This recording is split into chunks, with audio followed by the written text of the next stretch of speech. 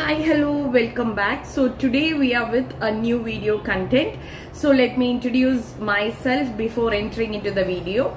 Dhanya here. You're watching learn with Dhanya and uh, we are mainly into medical coding training as well as with placements. If you are looking for cpc certification training or basic training and placement you can please register with us. We will guide you properly so today's video is all about disease of genitourinary system ICD-10-CM guidelines 2025. In this guidelines we will be clearly uh, discussing about all the conditions which are related to the genitourinary system and how the guideline is implemented there. Um, when uh, you uh, see this genitourinary system guidelines no it's it's very easy. Only two or three guidelines is there. So it is very easy to understand as well as very easy to follow also. So watch the video completely. Don't skip the video in between. Before that uh, please make a note of all the guidelines whichever i'm posting so that it will be really helpful for you at the time of uh, practicing for your cpc exam as well as if you're preparing for your interview also it will be really helpful so if you haven't subscribed please do subscribe my channel. And if you find it useful please do share it with your friends also. So come let's enter into the ppt and um, wish you all the best. Uh, if you're preparing for your cpc exam or if you're preparing for your interview wish you all the best. Anyways we'll enter into the video. So thank you. Continue with the ppt Hi, hello, welcome back. So today we'll be seeing about chapter 14 disease of genitourinary system code series N00-N99. I'm so happy that we have completed almost um, chapter till chapter 13 and a few more guidelines are left out. So if you're watching my channel for the first time, please do subscribe and if you find it useful, share it with your friends. Don't skip the video in between, watch it continuously.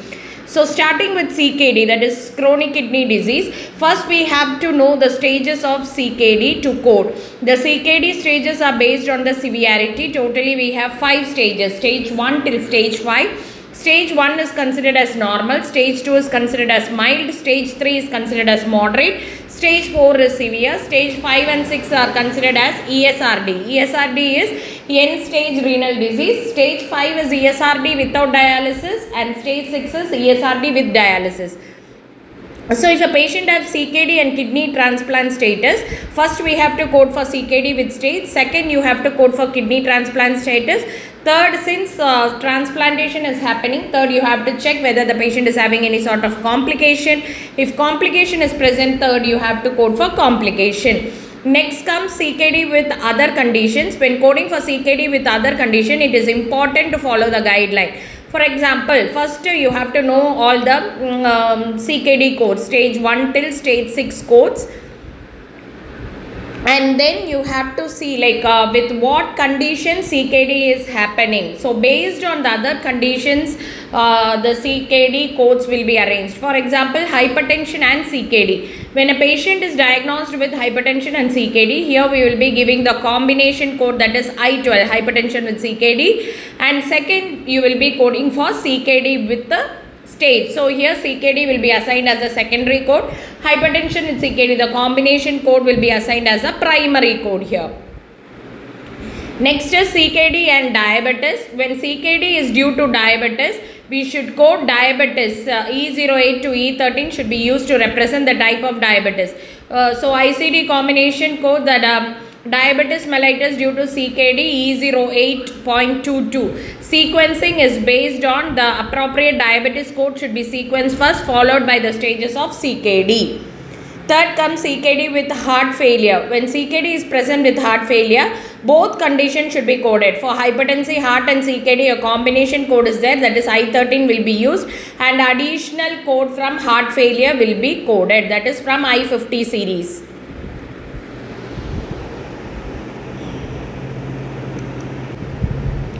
This is a very easy and interesting topic. Next comes CKD with other condition. If CKD is documented with other conditions such as gout, lupus nephritis or other kidney related condition, we should follow the appropriate ICD-10 code for the conditions followed with the stages of CKD. So it's a kind request uh, in your notebook write down all the guidelines and keep and whenever you get time please do go through it so that uh, you will have a proper understanding. So when you're preparing for your cpc exam or if you're preparing for your interview this guideline will be really helpful for you to study and practice. So thank you so much for watching. Keep watching for further updates of the guidelines. And if you haven't subscribed please do subscribe and share it with your friends also. Thank you so much. Take care. Wish you all the best. Take care. Bye bye